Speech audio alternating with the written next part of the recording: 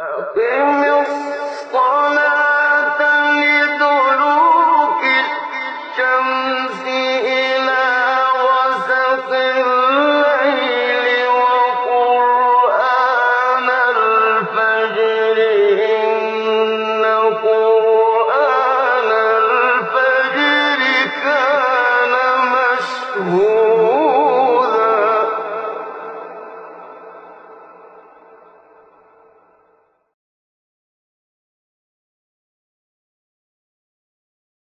الحمد لله والصلاة والسلام على رسول الله ومن استنى بسنته واهتدى بهداه. وتكملة لما كنا قد تحدثنا عنه من أخطاء المصلين لبعض الهيئات المكروهة في اللباس أثناء الصلاة.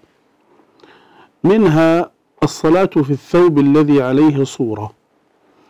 قال الإمام النووي رحمه الله تعالى أما الثوب الذي فيه صور أو صليب أو ما يلهي فتكره الصلاة فيه وتكره الصلاة إليه. ومنه الحديث النبوي الذي قال فيه رسول الله صلى الله عليه وسلم أميطي عني أي هذا الرداء فإنه لا تزال تصاويره تعرض لي في صلاتي.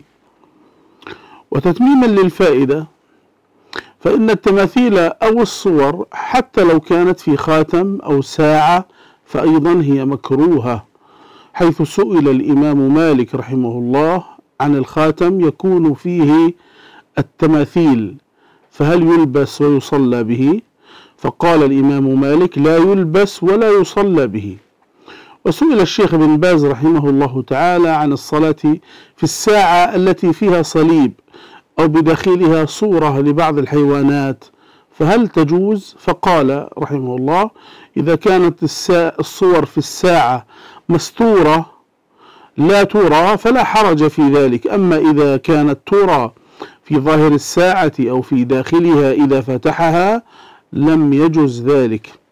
لحديث علي رضي الله عنه ولا تدع صورة إلا طمستها. ومن المسائل المهمة حكم الصلاة بالنعال حيث يعتقد كثير من الناس أن الصلاة بالنعال غير مشروعة ويستهجن أكثر الناس إذا رأوا شخصا يصلي بالنعال. ولا يعلم هؤلاء أن من السنن المهجورة صلاة الرجل بالنعال وأنه قد تواتر عن النبي صلى الله عليه وسلم أنه صلى بالنعال.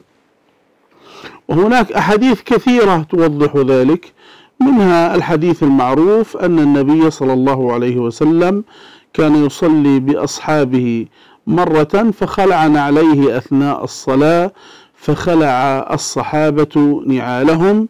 ثم بعد ذلك بين النبي صلى الله عليه وسلم أنه خلع عليه للأذى كان في نعليه ولم يكن يدري. ومنها حديث النبي صلى الله عليه وسلم صلوا في نعالكم فإن اليهود لا يصلون في نعالهم. والمقصود من هذا مشروعية مخالفة أهل الكتاب أحيانا حتى يتميز المسلم من غير المسلم. ومنها أحاديث كثيرة لا يتسع المقام لذكرها. والمقصود أنه ينبغي على المسلم أن يعرف أهم الأحكام الشرعية والسنن النبوية المتعلقة بأساسيات حياة المسلم ومن أعظمها هذه الصلاة التي هي حياة القلوب والصلة بين العبد وبين ربه. ربنا تقبل منا إنك أنت السميع العليم وتب علينا إنك أنت التواب الرحيم. والله تعالى أعلم وصلى الله على محمد وعلى آله وصحبه وسلم.